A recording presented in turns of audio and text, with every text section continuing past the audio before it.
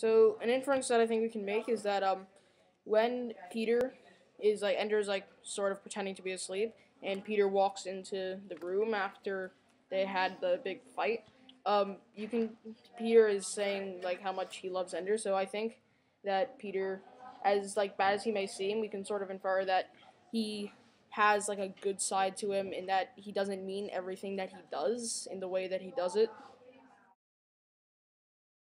Starting to settle in. I think he's sort of like think it'll get better. he feels that I think he's quite angry that he's in battle school as well because he's just starting to get comfortable with all of his friends. And the new promotion thing. Yeah. didn't help him that much.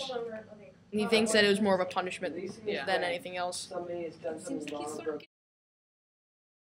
Uh, that he feels that um, everything's happening all over again with um, what happened in battle school. Like he's gonna be controlled again, and as it's really like an indicator because we find out later that he does go off, and um, the same sort of a repeat repeat.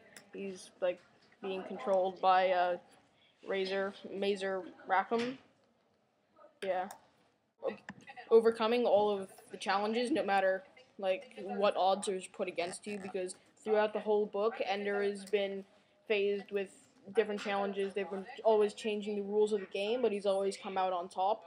So it just sort of shows that like overall, I think the author is trying to show us how like you can you can do whatever as long as you can try, as long as you try at it and work hard. Hmm.